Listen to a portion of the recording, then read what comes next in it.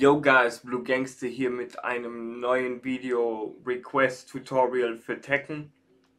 Und zwar wurde ich gefragt, wie macht man denn Instant While Running und Instant While Standing bzw. Wave Dash While Standing. So, zuerst Instant While Running, weil es das einfache von beiden ist. Was macht ihr? Ihr nehmt euch den Charakter, mit dem ihr das üben wollt, irgendein Gegner, völlig egal wen eine Stage mit Wall, ähm, sagt, er soll sich ducken, hier Gegnation Hocke und ähm, Neustartposition Mauerschock. So, und dann geht's eigentlich schon los. Ach, äh, Side Note, ich mache das hier auf einem neuen PS3 Controller, also ist meine Execution nicht on point, deswegen werde ich wahrscheinlich mehrere Versuche brauchen.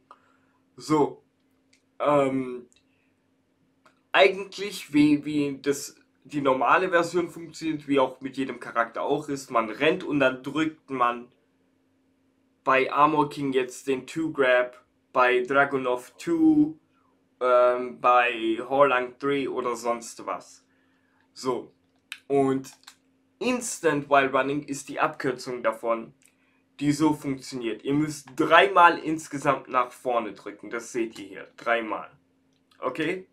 Und genau auf dem dritten Forward muss dann der jeweilige Move sein. So. Ähm, warum der mir bei warum der bei mir viermal Forwards zeigt, ist folgender Grund. Seht ihr das? Was ich hier mache, ist Forward halten und ich presse jede zweite Frame 2, also Dreieck. Ich drücke eigentlich drücke ich nicht so doppelt so schnell forward wie 2, also Dreieck, und trotzdem zeigt er das an, weil ich es nach vorne halte und er das sozusagen als extra Command ansieht. Deswegen wird es bei euch wahrscheinlich auch nicht nur genau drei Pfeile anzeigen, wenn ihr das Instant while running macht, sondern vier, wahrscheinlich auch fünf, je nachdem, wann ihr loslässt. Aber um zu wissen, wann ihr es richtig oder falsch macht, äh, sehr gut wäre das zum Beispiel hier mit Armor King, ist, wenn ihr es falsch macht, also dreimal nach vorne und dann genau auf den dritten den Grab. Wenn ihr es richtig macht, geht der R mit der linken Hand ein bisschen nach vorne, beziehungsweise mit beiden fast gleich. Macht ihr das falsch, kommt entweder das hier raus, dass er mit dem rechten Arm nach vorne geht etwas oder zu weit nach vorne. Dadurch könnt ihr entscheiden, okay, kam der jetzt raus oder nicht. Okay? So. Und am besten das zu üben, da gibt es keinen extra Trick, kein Cheat, gar nichts. Das ist einfach nur Execution Training. Ihr macht es so. Ja. Ein Backdash und dann das hier machen.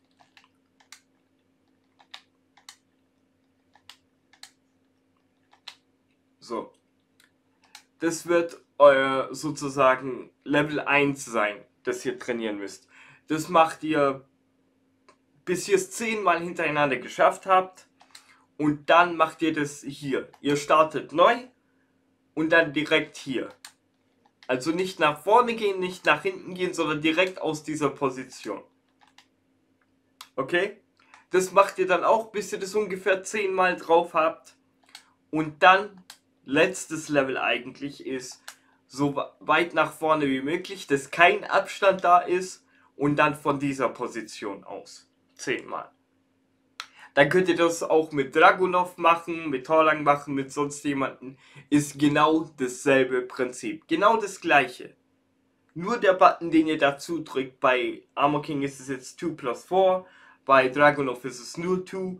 Nur, nur das unterscheidet sich, aber von der Mechanik her ist es 1 zu 1 dasselbe. So, wenn ihr das noch krasser machen wollt und noch genauer werden wollt für, für Execution Training, dann macht ihr das, dann könnt ihr ruhig mehr Abstand haben, weil dann müsst ihr das aus dem Wave Dash schaffen. Ihr macht einen Wave Dash. Ist es nur Forward to? Ja.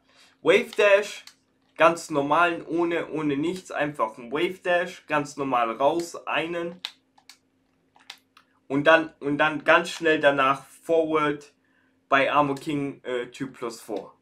Das kann im Prinzip jeder, der ein Wave Dash drauf hat. Jeder, der ein Wave Dash drauf hat. Also nicht nur die Mishimas und Jin, sondern auch ähm, Horlang, Bob, Armor King. Äh, bei King bin ich mir nicht sicher. Ähm, aber die könnte es auf jeden Fall, jeder, der normalen Wave Dash drauf hat, kann ein Wave Dash Wild Standing. Aber für, sage ich jetzt mal, Leute, die denken, die müssen wirklich übertrieben komplett von, von, von Null anfangen, weil sie die Basics noch nicht drauf haben, den würde ich empfehlen, erstmal das hier zu lernen. Zu, sich zu ducken und dann direkt raus den, den Wild Standing Move zu machen. Ein Gefühl, Gefühl dafür zu bekommen, wie der rauskommt, wann der rauskommt, um sich einfach an den Move zu gewöhnen. Ich würde euch nicht empfehlen, runter zu drücken, weil er dann manchmal einen Sidestep macht, sondern Down Back. Wenn ihr vertraut genug seid mit dem Move, den ihr im Wave Dash Wild Standing machen wollt, dann müsst ihr einen Crouch Dash machen. Ja, nicht komplett raus. Ihr macht einen Crouch Dash Ihr geht nicht komplett raus, weil ihr dann sozusagen eine Frame verschwendet. Es ist zwar möglich, aber das hier ist, das hier, was ihr gerade seht, das ist dasselbe wie das hier. Okay? Das ist nicht instant. Das ist einfach ducken und dann Wild Standing 2. Deswegen nicht den Wave Dash komplett, den Crouch Dash komplett durchziehen, sondern während ihr beim Down Forward seid, hier seht ihr das, Down Forward, okay? So schnell wie möglich ein Back plus 2 zu drücken. Nicht zuerst Back und dann 2, nicht zuerst 2 und dann Back, sondern beide gleichzeitig. Okay? Also ganz schnell rein und wieder raus und zack. Ähm, wo ihr euch selber kontrollieren könnt, wann ihr es wirklich richtig macht, ist, um, um, dieses, um sozusagen ähm, das einzugrenzen zu können, ist. Äh, mit Devil Jin jetzt wenn ihr es zu spät drückt, kommt ein WGF raus. Wenn ihr es ähm, zu früh drückt, kommt ein Back 2 raus. Okay? Und je nachdem, was rauskommt, wisst ihr dann, okay, Back, äh, back 2, ich habe es zu schnell gedrückt. Okay, WGF, ich habe es zu spät gedrückt. Und erst wenn ihr das aus dem Crouch Dash wirklich drauf habt, wie gesagt, zu früh Back 2, zu spät WGF. Dann könnt ihr das aus 2 machen. So, wie funktioniert das, wenn ich es aus 2 mache? So, wie wenn es ist dasselbe mit 3, mit 2, mit 3, mit 4, mit 5, mit weiß ich nicht wie viel. Es ist genau dasselbe System. Und zwar, wenn ihr euch das wirklich in euch eingeprügelt habt, wann ihr das Timing drauf habt, den rauszuhauen, dass er dann wirklich perfekt rauskommt. Dann macht ihr das bei zwei Dashes so, bei zwei Wave Dashes bzw. Crouch Dashes so, dass ihr den ersten ignoriert. Ihr konzentriert euch nur auf den zweiten bzw. auf den letzten Dash, weil ihr da genau dasselbe Gefühl haben müsst, wie wenn ihr es direkt aus dem Crouch Dash macht. Mehr ist es nicht. Das heißt, wenn ich das jetzt aus zwei mache, dann ist der erste Dash, den ich mache, der erste Crouch Dash für mich komplett unwichtig. Ich mache ihn zwar, aber ich beachte ihn gar nicht. Und dasselbe ist es mit 3, wenn ich es hinkriege. Mit 4. So. Und mit 5, mit 6, mit sonst was. Also macht ihr das so. Zuerst 10 Mal aus dem ersten dann 10 mal mit 2, dann 10 mal mit 3, dann 10 mal mit 4 und 10 mal mit 5. Und wenn ihr irgendwo an Anfang, mittendrin, kurz vor Ende falsch gedrückt habt, dann macht ihr nicht dort weiter, sondern fängt direkt wieder von vorne an. Also direkt wieder hier. Falls ihr noch irgendwelche Fragen habt oder irgendwie Sachen in Matches gesehen habt, die ihr euch selbst nicht erklären könnt, von wegen, wie hat er das gemacht, wie funktioniert das? Fragt mich, schreibt in die Kommentare sonst was und ich mache ein Video darüber. Alright then.